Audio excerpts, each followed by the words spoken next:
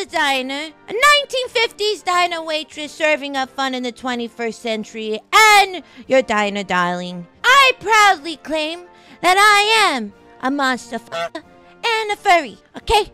Alright? Sometimes you stare at an anthropomorphic aminal and you realize they're way too sexy to not fuck to. And sometimes you see a monster that has three